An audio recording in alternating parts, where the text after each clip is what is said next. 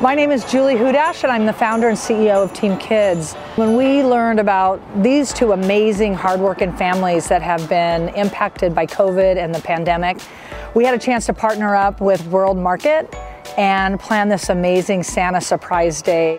To be able to see the families here, all the children opening up their gifts, it is so much more meaningful during these times that people have been experiencing so many challenges, especially these families, and to have this, such an amazing experience for them.